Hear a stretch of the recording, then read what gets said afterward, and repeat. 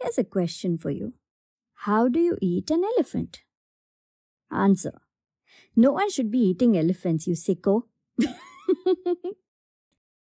yes, yes, I know it's a popular analogy about dealing with overwhelming challenges one bite at a time and all that.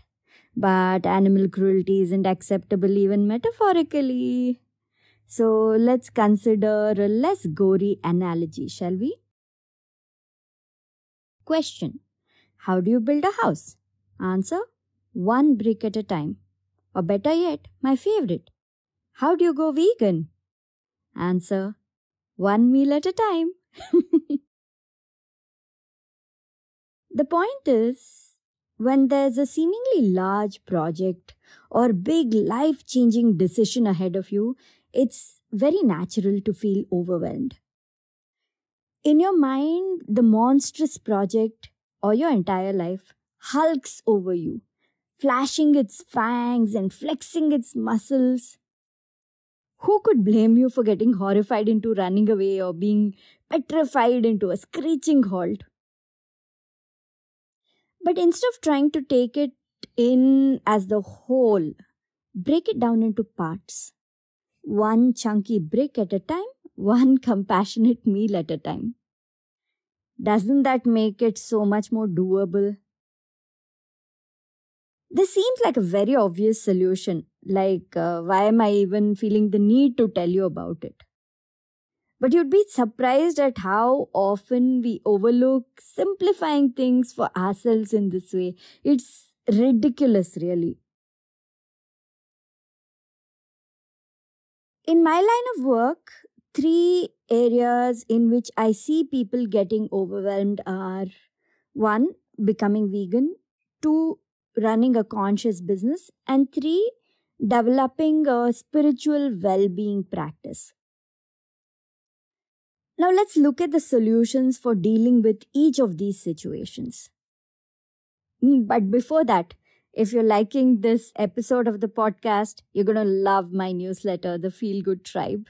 I send lots more tips there, wrapped up in very entertaining stories. So go sign up. The link is in the show notes. You go to veganosaurus.com slash newsletter and sign up to the Feel Good Tribe.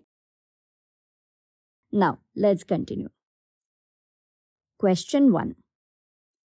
Want to go vegan but feel like it's too big of a decision?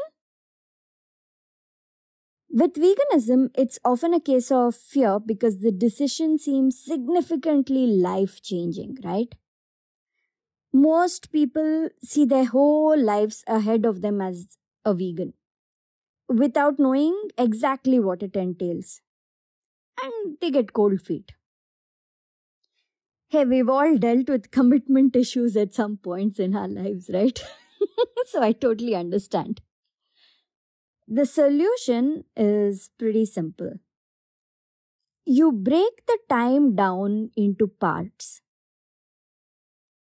I have uh, many friends who say, I'll try this vegan thing for just one month and see how it goes. When they do that, it doesn't seem so scary to start anymore. And usually, by the time they reach the end of that month, they see that it's so much easier to be vegan than they'd imagine and just stick to it. Second question Does it seem like there's always too much to do with your conscious business? As far as running a conscious business goes, overwhelm usually comes from weak boundaries. There's too much happening all at once, and when lumped together, it looks like a huge challenge. If you're a business owner, you know what I'm talking about. The solution for this isn't as straightforward as the vegan one, but it's very doable.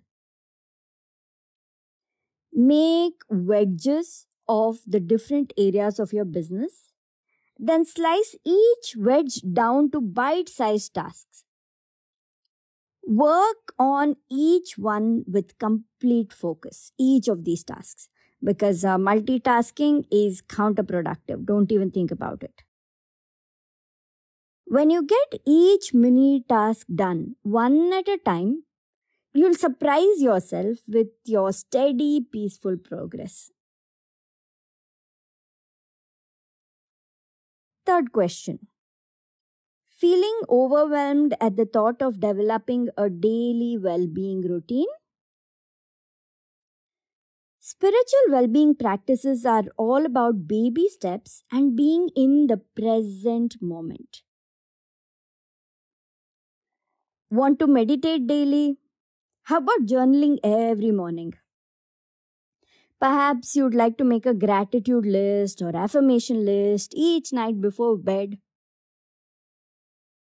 Put the daily, every morning, every night aside you thought of it now, just begin right now. Meditate for even one minute. Write just one paragraph. Say only a few words of gratitude and affirmation. Start now though. Commit to yourself that you'll do the same thing tomorrow too. Then the next day, whenever you remember, stop anything else you're doing and put in a few minutes towards your spiritual well being. Starting at a few minutes a day like this is all you need. As you experience the benefits of the regular practice, you'll naturally find a way to carve out more and more time for it. Those three examples were from my life because of the different kinds of people I work with. But I'm sure you can see how the core ideas can be applied to pretty much anything, anytime. Something feels like it's too much or too big, apply it. So, to conclude, want to handle anything big and life changing? Stop obsessing about the future don't think of what the status might be like next year, next month, tomorrow, or even later today. Do these things. 1. Bring yourself fully into the present moment.